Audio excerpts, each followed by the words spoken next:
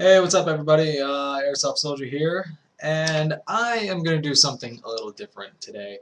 Um, I know I bring you guys a lot of airsoft stuff and show you my gear, my weapons, and um, some game footage, but uh, today I'm going to show you uh, a little bit of another side of me that I don't uh, mostly show you guys. And I think I only have one video of it actually up. But uh, anyway, this is my 1934 hex receiver Mosin Nagant 9130. Uh, I got this in Georgia last year um, for about $101 surplus item. You can get these things anywhere. Um, any surplus store, a pawn shop that sells firearms and all that stuff. And that's exactly what I did. And I've had this uh, rifle for about a year. And what can I say? This thing is so much fun to shoot. If you guys are out there looking for a rifle just to clink around or hunt with even, like I do with this, then this is your weapon. Especially for those of you who love collector's items. Now, the uh, the Mosin Nagant was used by the Russian infantry in World War II and started making these things um, in the in the start of the 1800s. I don't know the full history on on this weapon, but um, if you do, just leave a comment or something like that. Correct me. I really don't mind.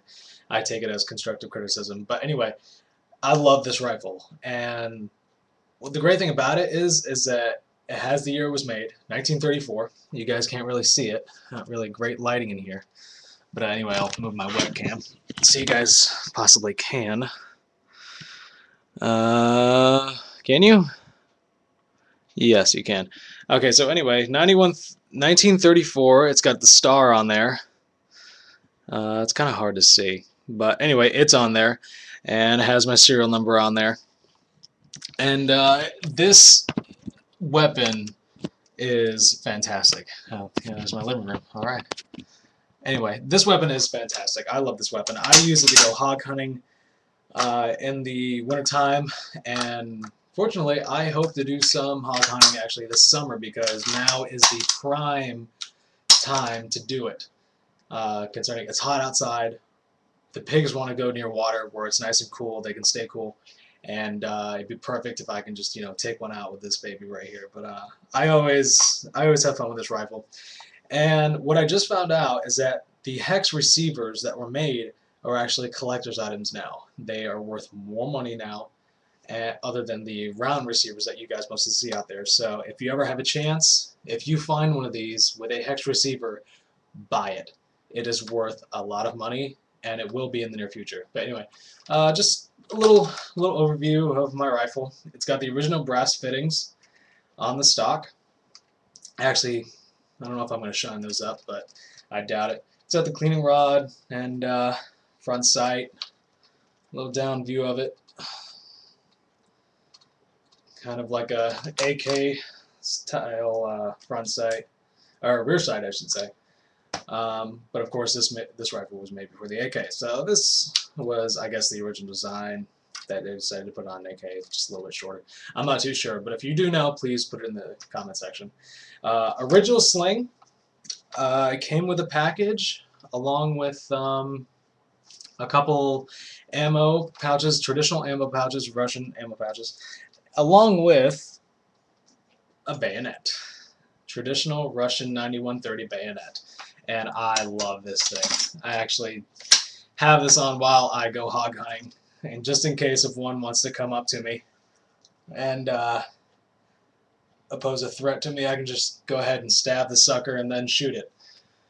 But I don't think I'm going to do that because uh, I'm a little bit more humane than that. But anyway, just wanted to show you guys my rifle and uh, show you that I do uh, indeed own real firearms.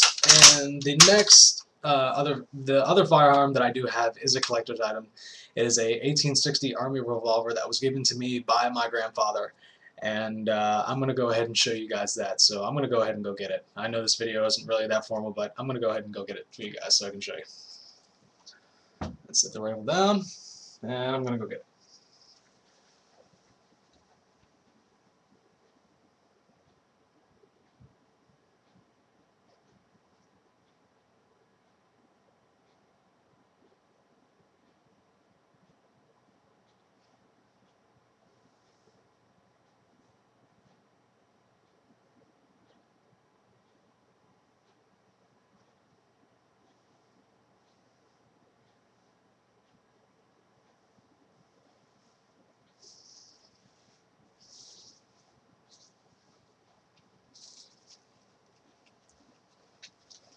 Alright.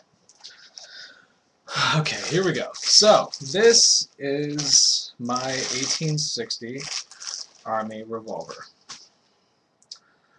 Uh, like I said, it was given to me by my grandfather on my side of the family. And it is a ball and cap uh, revolver using the traditional gunpowder, using a cap to put on the revolving pieces, and just, you know, putting the bullet in like you would like a musket. I'm not too sure. I don't plan on firing this thing because it is such a collector's item and the engravings on it are incredible. Uh, I'm going to go ahead and polish this thing up, make it a little cleaner for you guys to see and uh, get a good look at the the trades and everything on it. But I wanted to show you guys this stuff, show you that I do, you know, I also do um, real firearms and not just airsoft. But anyway, go ahead and decock this thing. Alright, let me get the webcam and show you guys these trades. Oh, look, a computer. So, here's some of the engravings on it. I'm not sure if you guys can see it, but those are actually ships. Alright, um, a couple ships. I can't really see it. Um, a couple ships on there patent number engraving WL Ormsby, New York. Now you guys can't really see that, but it's on there. And this thing is, I, I think it's gorgeous. But anyway.